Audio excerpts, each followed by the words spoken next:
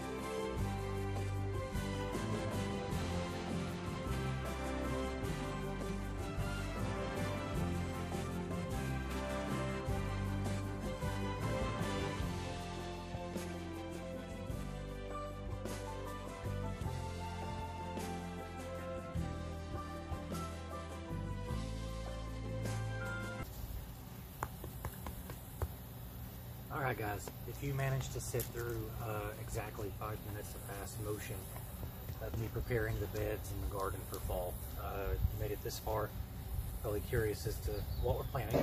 So, um, I think these are called like Red Ripper, Red Zinger, something cowpeas. Um, we're going to plant a lot of these. Uh, good protein, fast growers. They're used as a cover, cover crop for um, just your fields in general or to attract deer. I bought them from a deer hunting website. Ooh, I got a lot, a lot. These are just two samples out of a gigantic bag. Uh, they cost like, uh, gosh, I think I bought 10 pounds, 20 pounds. Cost 20 bucks. But where they get you is the shipping. And I had to pay an arm and a leg for shipping. But anyway, good source of protein, nitrogen fixer. And uh, that was the key. So we're going to plant a whole lot of these, see if we can get them up and get them to produce uh, before the frosts come. And if they don't, that's okay. We got a nitrogen fixer and a cover crop. And if they do, also, we're going to have a lot of uh, peas and split pea soup. So what else do we have here? Um, directly in the ground, we're going to plant radishes, August 30th. Uh, beets, bears, Battlestar Galactica. That's going in late August, 22 August. Direct sow cabbage, turnips, carrots, all heirlooms. Direct sow broccoli, cauliflower, maybe.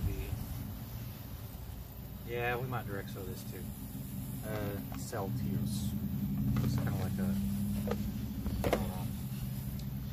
also, we're to put the cilantro in. Cilantro is a, it's kind of a warm weather food, you know, for Mexican restaurants and while you're having your margs and all that stuff. But it's actually a cold weather crop. Um, so we're to plant those guys. We got a low growth uh, lemon dwarf cilantro. Pretty excited. And then I think the rest of these guys we are going to um, plant in our little planters and then move them on over. So, all right, hang out with us.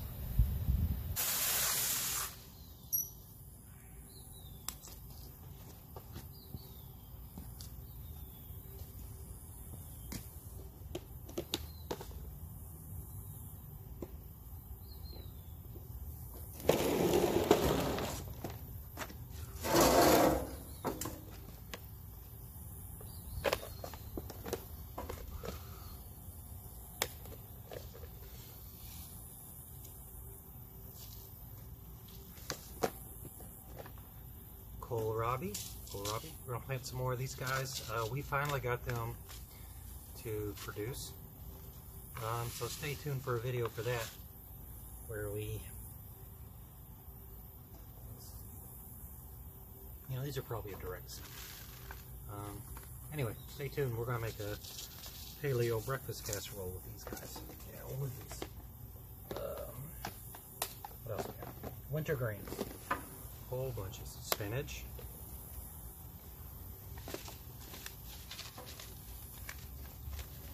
Our spinach did not do well.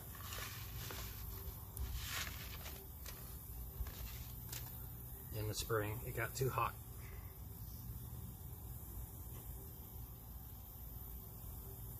So hopefully we'll get a, a fall batch. Be a lot better.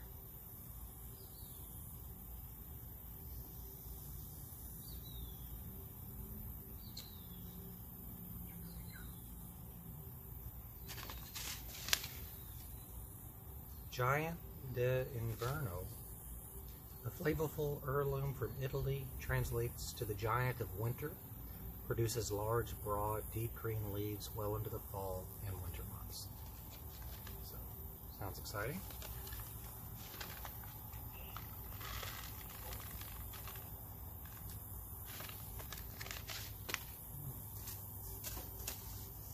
Rocky top lettuce. there we go. Uh, improved formula blend is now better than ever! Exclamation point. Includes some non-listed rare varieties. Sow in thick bands and cut and come again. So I think that's going to be a direct seed as well. Mustard.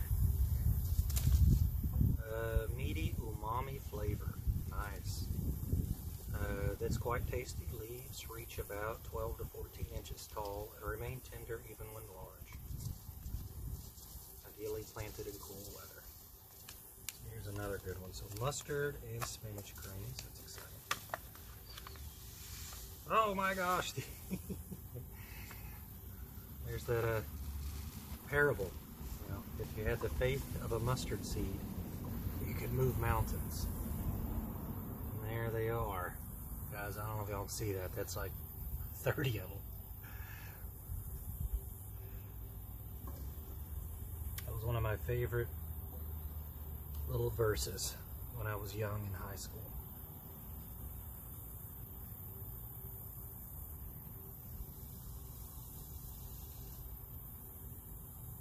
Put those little guys right in there. These little guys right in here. There we go.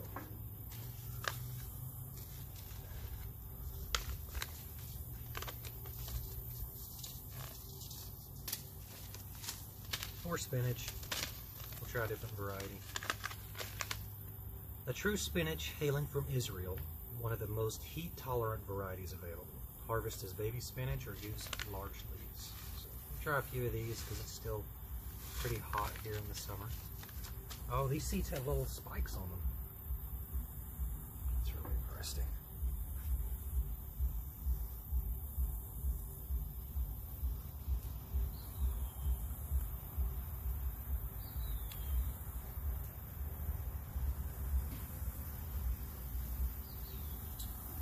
We had two more cups over here for planting, but baby Sterling got to them.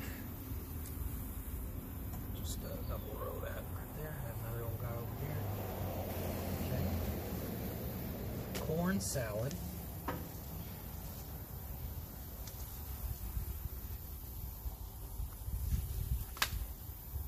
Green full heart corn salad. I got a double of this.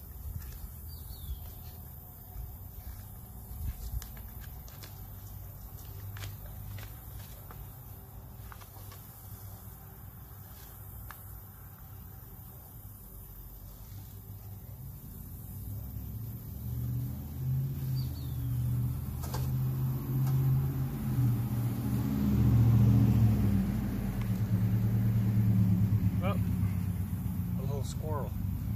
I already tried to plant a pecan in here.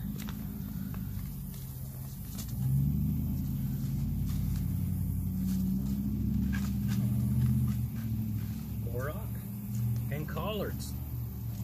Georgia Southern Creole collards. Uh, Orach mixed, Aurora mixed Orach. Colorful native to Western Asia and the Mediterranean, mix of radiant colors red, gold, pink, green, uh, carmine, and pure purple. Orach thrives in warm to cool seasons and is bolt resistant spinach substitute. So it looks like we should have planted a lot more of this in the spring. But once it gets hot here in Oklahoma, zone 7B, there's no stopping it. It's you can say you're heat tolerant all you want, but you're not you're not beating that. Okay. Pull these guys in here.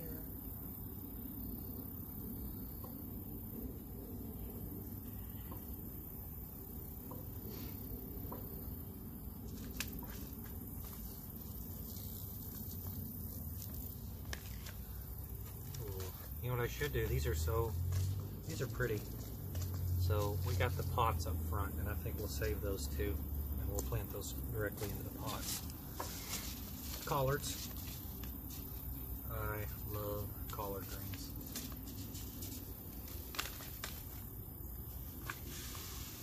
They're a little bit bigger than mustard seeds. Not much though. These plants also get massive.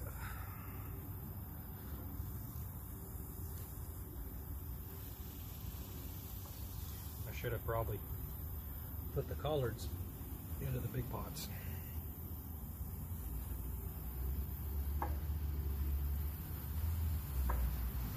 But that's okay.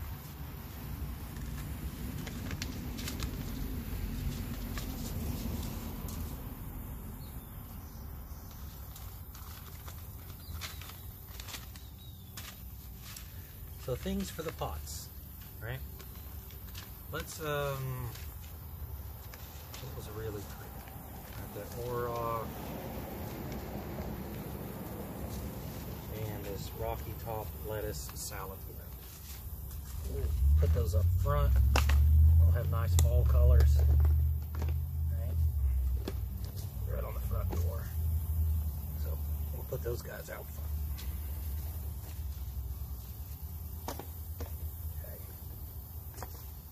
kale, lettuce, arugula,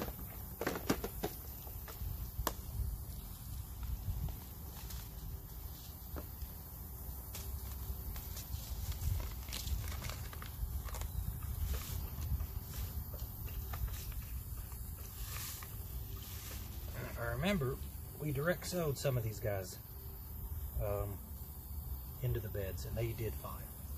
They really took off. But we'll go ahead and get them going down here.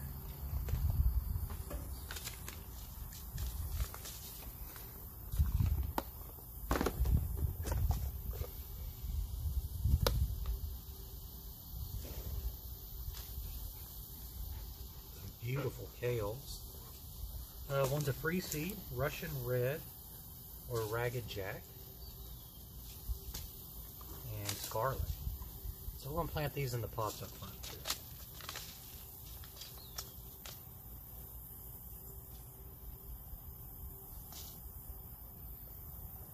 Yeah.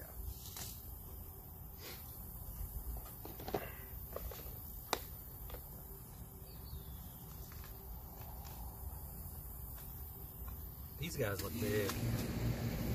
Oh, Brussels sprouts too.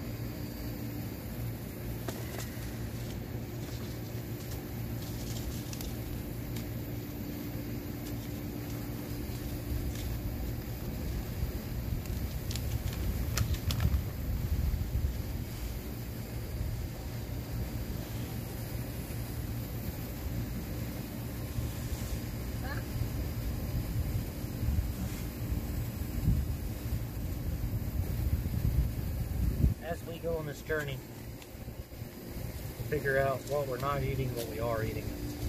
Um, a time of uh, cauliflower, broccoli. You know, we're gonna plant a lot of that. We're gonna plant a lot more Brussels um, this fall and next spring.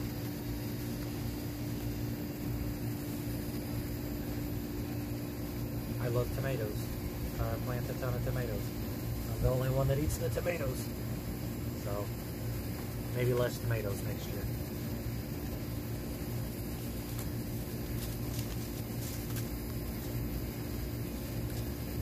Green Mountain Winter.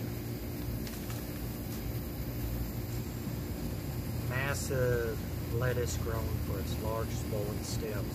Popular in southwest China. A fall planted variety, Green Mountain uh, Celtuce produces jumbo stems that remain crunchy, tender, and juicy as they reach epic proportions.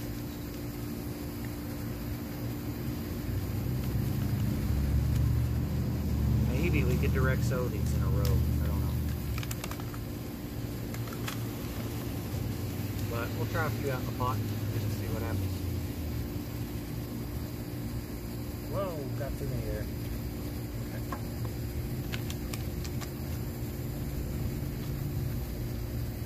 So we're gonna leave these under the shade tree, water them in really good, see what comes up, see what the squirrels do. Oh, I hate squirrels. Uh, what else we got? And then we're gonna direct sow the rest.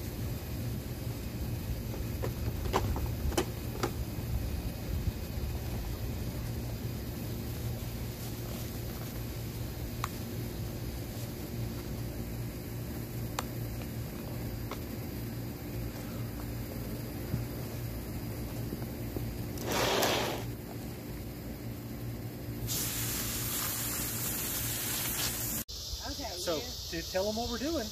we're doing a jumbo of for a new fam- um, part of our family. Cause why why are we doing it for the family? What's going on? Uh, we're going baby sister or baby brother. See if you get a baby sister or baby brother. Yeah. Okay, wait. What do you think it is? And boy. A boy? What do you think it is? Girl. You think it is Sterling? Okay, what's going on? Okay, what do you think it is? Oh wait, no wait, don't guess, don't guess, don't guess, don't guess. Okay. Do not guess. I forgot. We I don't. I don't want to assume it's gender. Okay, whatever. Okay, babe. Twist it the other way.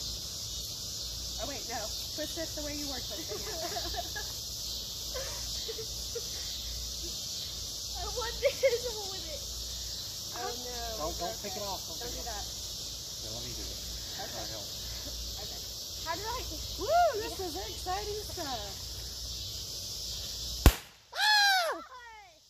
Boy. He's a boy. It's a I got one.